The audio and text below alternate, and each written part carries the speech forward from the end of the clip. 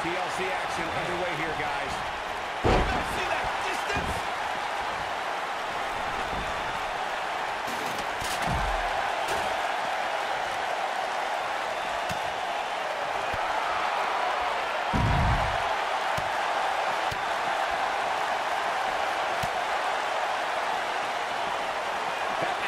The ring. Here she goes. Back in the ring now.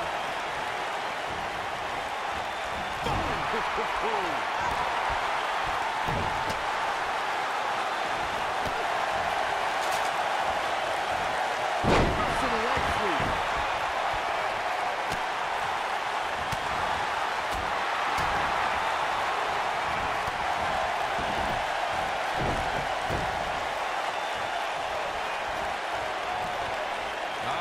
listen up, morons.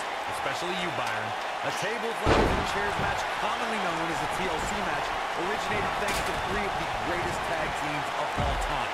We're talking about the Dudley Boyz, the Hardy Boyz, and Edge and Christian. You got the tables for the Dudleys, the ladders for the Hardys, and the chairs for ENC. Harsh impact.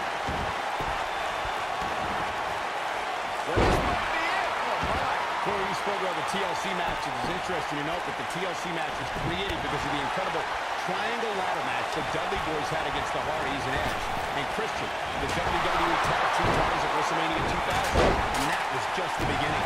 You got that right, Michael. There was incredible history between those three teams. Each duo put it all on the line so they could be WWE Tag Team Champions. Even though the wild matches between them had TLC elements in them, the first official TLC match sanctioned by WWE took place at SummerSlam 2000. Charlotte may have it harder than any other second-generation star. Upholding a family's legacy is tough. But when your dad is Ric Flair, that's even more hype.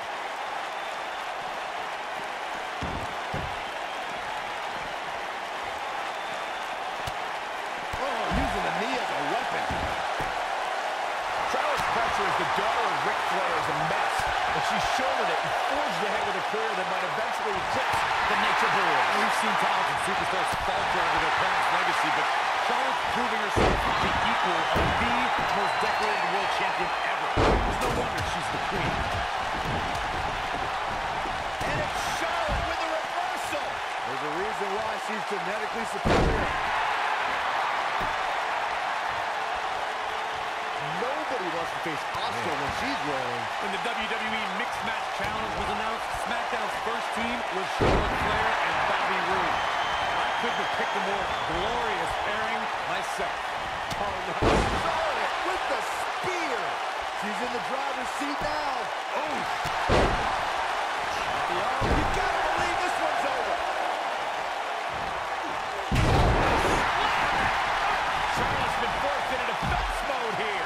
Well, Charlotte had no choice. Corey, that Charlotte and Bobby Roode pairing was a slam dunk for SmackDown Live General Manager Daniel Bryan. They're both decorated champions, and they both know how to rock a road. And while I'm usually not a fan of Daniel Bryan's decision-making, he really stacked the deck for SmackDown Live when he put the Queen and the Glorious One together.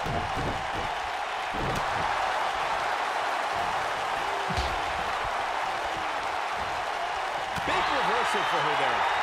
At WrestleMania 32, the world saw WWE's Women's Revolution take center stage when Becky Lynch faced off against Charlotte Flair and Sasha Banks to crown a new women's champion.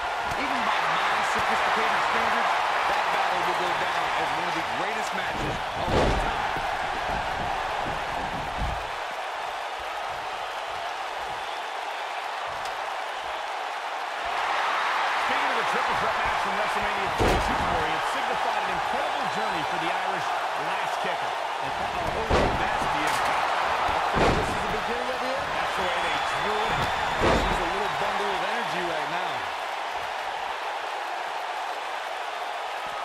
The champ to the top turnbuckle. Incoming. And I think it's clear that Charlotte is feeling the physicality of this match. It only took Asuka on the apron. This is not going to be good. Uh-oh. Oh, not from there. No. Ah! Charlotte is in trouble. Oh, the knee. And another. Torturous knee.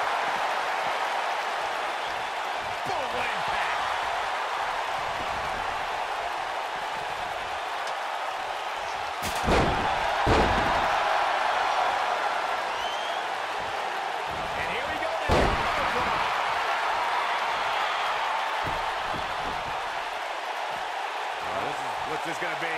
Wheelbarrow. Face first. It's over. I think she's trying to prove a point here. And this is all part of Charlotte's strategy.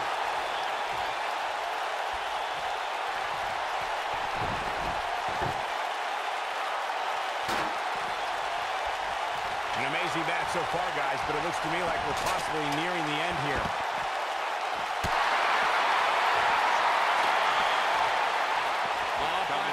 Shoulders.